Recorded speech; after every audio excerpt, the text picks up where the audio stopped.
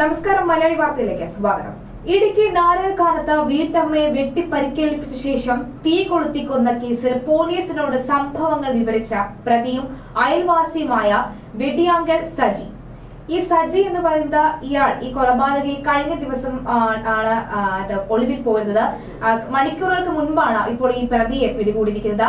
ഇപ്പോൾ എങ്ങനെയാണ് ഈ പ്രതി കൊടും ക്രൂരത ചെയ്തതെന്ന കാര്യങ്ങൾ പോലീസിനോട് വിവരിക്കുകയാണ്. നാരകക്കാലം കുമ്പിടിയാമക്കൽ ചിന്നമ്മ ആന്റണി എന്ന അറുപത്തിരണ്ട് വയസ്സുകാരിയാണ് കൊലപ്പെടുത്തിയ കേസിലാണ് ഇപ്പോൾ ഈ അയൽവാസിയായ വെട്ടിയാങ്കൽ സജി എന്ന തോമസിനെ കട്ടപ്പന ഡിവൈഎസ്പിയുടെ നേതൃത്വത്തിലുള്ള അന്വേഷണ സംഘം കമ്പത്ത് വെച്ച് അറസ്റ്റ് ചെയ്തത്.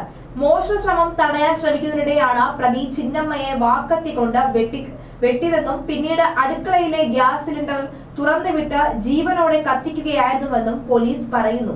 പകൽ സമയം വീട്ടിൽ ചിന്നമ്മ തനിച്ചാണെന്ന് അറിയാവുന്ന പ്രതി മോഷണം ലക്ഷ്യമിട്ടാണ് എത്തിയത്. ചിന്നമ്മയുടെ മാലയും വളകളും മോഷ്ടിക്കാനായിരുന്നു ശ്രമം. എന്നാൽ മോഷണ ശ്രമം തടയാൻ ശ്രമിച്ചതോടെ ചിന്നമ്മയെ പ്രതി വെട്ടി പരിക്കേൽപ്പിച്ചു ബോധരഹിതയായി നിലത്ത് വീണ ചിന്നമ്മയെ പിന്നീട് ഗ്യാസ് സിലിണ്ടർ തുറന്നുവിട്ട് ജീവനോട് തീ കൊളുത്തി കൊലപ്പെടുത്തുകയായിരുന്നു.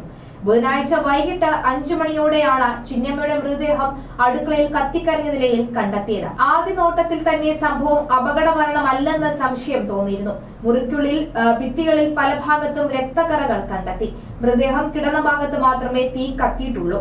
വീട്ടിലെ ഉപകരണങ്ങൾക്കും അടുപ്പിനും യാതൊരു കേടുപാടുകളും സംഭവിച്ചിട്ടുമില്ല. മൃതദേഹം കിടന്നതിനടിയിൽ പുതപ്പ് വീഴ്ചിരിക്കുന്നതും വീട്ടിലെ മറ്റ് തുണികൾ മൃതദേഹത്തോടൊപ്പം കണ്ടതും സംശയത്തിന് ഇടയാക്കി. ഗ്യാസ് അടുപ്പ് ഉപയോഗിക്കാൻ നന്നായി പരിചയമുള്ള ചിന്നമ്മയ്ക്ക് ഇത്തരത്തിൽ അപകട മരണം സംഭവിക്കാനുള്ള സാധ്യത ഇല്ലെന്ന് തന്നെയായിരുന്നു പ്രാഥമിക നിഗമനം. മാത്രമല്ല ചിന്നമ്മയുടെ ശരീരത്തിലുണ്ടായിരുന്ന ഏഴ് പവനോളം തൂക്കം വരുന്ന സ്വർണാഭരണങ്ങൾ കാണാതായതും കൊലപാതകമാണെന്ന സംശയത്തിൽ ആക്കം കൂട്ടി. തുടർന്ന് കട്ടപ്പന ഡിവൈഎസ്പിയുടെ നേതൃത്വത്തിൽ പ്രത്യേക സംഘം നടത്തിയ വിശദമായ പരിശോധനയിലാണ് പ്രതി പിടിയിലായത്. അല്പസമയം മുൻപാണ് എങ്ങനെയാണ് താൻ ഇത് കൊന്നത്? അതായത് ചിന്നമ്മയെ താൻ എങ്ങനെയാണ് വകവരുത്തിയെന്ന കാര്യം പോലീസിനോട് ഈ തോമസ് വിവരിക്കുകയായിരുന്നു. ചിന്നമ്മ വീട്ടിൽ ഒറ്റയ്ക്കാണെന്ന് നന്നായി അറിയാമായിരുന്നു. രണ്ടു മൂന്ന് ദിവസമായി ഈ വീട്ടു പരിസരത്ത് തന്നെയാണ് ഞാൻ കറങ്ങി നടന്നത്. ആദ്യം മാല മോഷ്ടിക്കാൻ ശ്രമിച്ചു. പിന്നീട് അവർ തടയുകയായിരുന്നു. ഇതിനെ തുടർന്ന് അടുത്തിരുന്ന കൽക്കത്തി കൊണ്ട് തന്നെ ഞാൻ വെട്ടുകയായിരുന്നു. ഒപ്പം ബോധരഹിതയായി. തുടർന്ന് ഞാൻ ഗ്യാസ് സിലിണ്ടർ ഓൺ ആക്കുകയും തീ കൊളുത്തിയിടുകയും ചെയ്തുവെന്നും ഈ തോമസ് വിവരിക്കുന്നുണ്ട്. ഏതായാലും അതിക്രൂരമായ ഈ കൊലപാതകം നടന്നത് ബുധനാഴ്ചയാണ്. ബുധനാഴ്ച വൈകിട്ടാണ് അടുക്കളയോട് ചേർന്ന കത്തിക്കരിഞ്ഞ നിലയിൽ ഈ ചിന്നമ്മയുടെ മൃതശരീരം കണ്ടെത്തിയത്.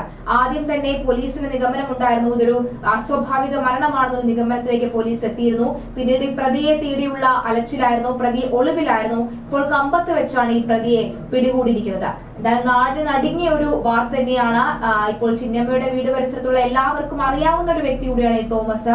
ചിന്നമ്മയെ നന്നായി അറിയാവുന്ന വ്യക്തി തോമസ്. ഇതിനു മുൻപും ഇത്തരത്തിലൊരു പ്രവൃത്തിയോ അല്ലെങ്കിൽ മോഷണ ശ്രമമോ ഒന്നും നടത്താൻ ശ്രമിച്ചിട്ടില്ലാത്തയാളാണെന്ന് പരിസരവാസികൾ പറയുന്നുണ്ട്. എല്ലാവരും ഞെട്ടലിൽ തന്നെയാണ് ഈ വാർത്ത കേട്ടത്.